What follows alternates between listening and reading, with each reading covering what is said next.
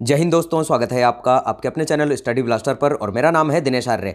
तो यहाँ पर देखिए, हुबली जोन से यहाँ पर डीवी की कट ऑफ़ यहाँ जारी कर दी गई है और आप सभी लोगों को पता है कि रिज़ल्ट में यहाँ पर काफ़ी ज़्यादा गड़बड़ी देखने को मिली और मैं आपके सामने सारे प्रूफ यहाँ पर रख रहा हूँ कि कितनी बड़ी गड़बड़ी यहाँ पर रिज़ल्ट के अंदर हुई है। यानी कि डीवी में देखिए, जितना मार्क्स यहाँ पर कट ऑफ़ जो आया है, उस कट ऑफ़ से भी ऊपर यहाँ पर कैंडिडेट का मार्क्स है, लेकिन फिर भी उसका यहाँ पर डीवी की लिस्ट में नाम नहीं है। सबसे पहले कट ऑफ़ देख लीजिए कितना गया है यूआर से कट ऑफ़ जैसा कि मैंने आपको बताया था कि हुबली जोन का कट ऑफ़ यहाँ पर एक नया रिकॉर्ड यहाँ पर जारी कर सकता है और उसी तरह का यहाँ पर कट ऑफ़ जो है देखने को मिला है। बहुत ही ज़बरदस्त और बहुत ही तगड़ा कट ऑफ़ यहाँ पर देखने को हुबली जोन का मिला है। तो देखिए, सबसे पहले अगर हम बात करें यहाँ पर जो यू आर कैटेगरी का कट ऑफ़ है, वो 72 का यहाँ पर गया है। तो 72.05 का कट ऑफ़ यहाँ पर गया है आपका यू आर कैटेगरी का। उसके बाद बात करें यहाँ पर ओबीसी का तो ओबीसी का कट ऑफ़ यहाँ पर गया है आपका 68.13 और ई e का जो कट ऑफ़ है 61.5893 तो मैंने आपको पहले भी कहा था कि यहाँ देखिए कट ऑफ़ जो है काफ़ी हाई यहाँ पर जाएगा।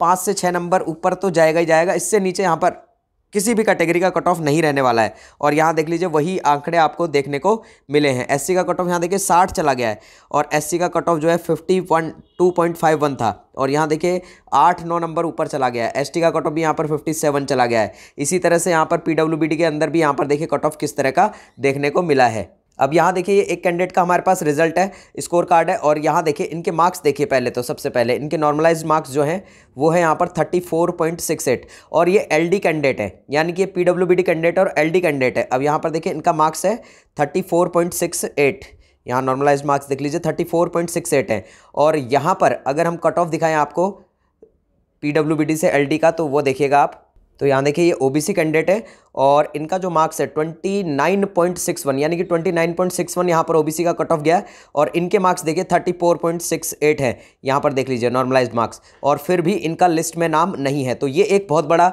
जो है गड़बड़ यहाँ पर हुई है और भी मैं दिखाता हूँ आप। यहाँ देखिए ये एक और कैंडिडेट है हमारे पास ओबीसी के और इनका जो मार्क्स है, यहाँ देख लीजिए नॉर्मलाइज मार्क्स यहाँ क्लियरली आपको दिख रहा होगा, ये है इनका नॉर्मलाइज मार्क्स और यहाँ पर 68.18349 68.18349 इनका प्रॉपर यहाँ रिज़ल्ट दिखाई दे रहा है।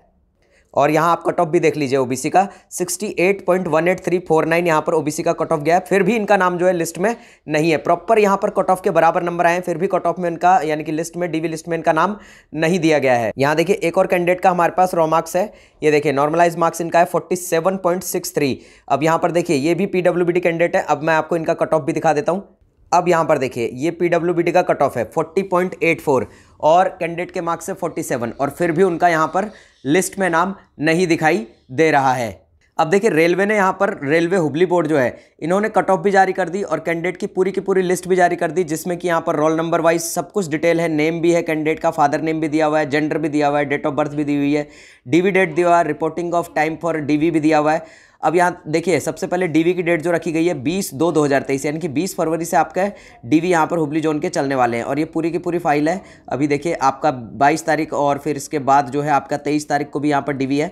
और यहाँ देखिए, कब तक आपके डीवी चलने वाले हैं, वो भी आपको हम दिखा देते हैं। और ताकि इससे आपको जो है क्लैरिटी आ जाएगी। और देखिए, आपको मैं एक चीज़ और बता देता हूँ, यहाँ पर देखिए, दो मार्च, तीन मार्च, और आपका काफ़ी लंबा डीवी यहाँ पर चलने वाला है, यहाँ पर हुबली जोन का। यहाँ देखिए, चार तारीख तक की आपको डेट दी गई है। और भी यहाँ पर देखिएगा अब यहाँ पर देखिए, ये जो आपका डीवी चलने वाला है 9 मार्च तक आपके डीवी यहाँ पर लगातार हुबली जोन के चलने वाले हैं।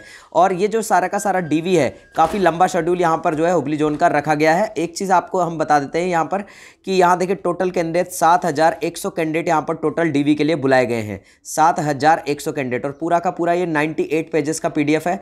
हम इसको हमारे टेलीग्राम चैनल पर डाल देंगे तो वहाँ से आप इसको डायरेक्टली डाउनलोड भी करके चेक कर सकते हैं अब एक चीज़ देखिए यहाँ पर काफ़ी बड़ी गड़बड़ यहाँ हुई है काफ़ी सारे कैंडिडेट के साथ यहाँ पर धोखा हुआ है और ये जो चीज़ इतना जो बहुत बड़ी गड़बड़ी यहाँ पर रेलवे ने कर दी है या तो यहाँ पर देखिए रिवाइज रिज़ल्ट यहाँ पर आना निश्चित है या फिर यहाँ कुछ ना कुछ यहाँ पर मामला गड़बड़ है तो यहाँ आपको करना क्या है अब आपको ट्वीट करना है यहाँ पर डायरेक्टली यहाँ पर रेलवे बोर्ड को यहाँ पर जो आरआरबी भोपाल है इसे आपको ट्वीट करना है और किस तरह से ट्वीट करना है वो मैं आपको प्रॉपर तरीके से बता देता हूँ यहाँ पर आप जाएँगे आर भोपाल की प्रॉपर ट्विटर अकाउंट पर और वहाँ उसे ट्वीट करेंगे। साथ ही साथ यहाँ पर आपको जो रेलवे मिनिस्टर है, उन्हें भी ये चीज़ जो है ट्वीट करनी है ताकि यहाँ पर जो आपकी बात है, आपका जो पूरा का पूरा रिज़ल्ट का मामला है, ये यहाँ पर सामने आ सके। और इस वीडियो को ज़्यादा से ज़्यादा लोगों तक शेयर कीजिए ताकि ज़्यादा से ज़्यादा लोगों को इस बारे में पता चल सके और यहाँ पर जितना भी ट्विटर कैंपेन चलाया जाना है, जितना भी यहाँ पर जो है चीज़ों को फैलाया जाना है ताकि बात जो है रेलवे अधिकारियों तक पहुँच सके और रिज़ल्ट जो है यहाँ पर दोबारा जारी किया जा सके,